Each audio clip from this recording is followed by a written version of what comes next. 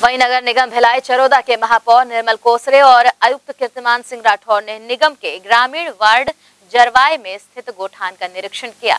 इस दौरान उन्होंने स्व सहायता समूह की महिलाओं द्वारा निर्मित वॉशिंग पाउडर व फिनाइल के साथ मसाला निर्माण को महिला सशक्तिकरण का अनुपम उदाहरण बताते हुए महिलाओं को शाबाशी दी।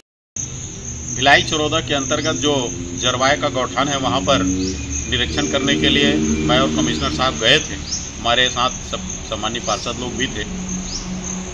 वहाँ पर जो हमारी महिला स्व सहायता समूह की बहनें हैं, जो जरवाए की है, उमदा की है, पथर्रा के हैं, इनके द्वारा फिनाइल बनाने का काम किया जा रहा है, निरमा बनाने का काम किया जा रहा है। साथ ही साथ जीविकापार्जन के लिए इनको आधा एकड़ का ज़मीन जो हमारे गोठान के लिए है, उसमें सब्ज़ी उत्पादन के लिए उसको प्रेरित किया गया है।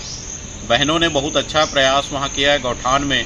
आजीविका के रूप में उनको आगे बढ़ने के लिए हम लोगों ने जितने फिनाइल उनके पास बने हुए थे 500 लीटर फिनाइल का आर्डर उनको दिया गया है और जो भी प्रयास हमसे हो सकेगा उनके स्वावलंबन बनने की दिशा में किया जाएगा। माननीय मुख्यमंत्री जी का अभिनव पहल जो रहा है, गौठान को उसी दिशा में हम लोग काम कर रहे हैं। जरवाए के गौठान, इसी तारतम्य हम लोगों ने वहाँ का देखने गए थे।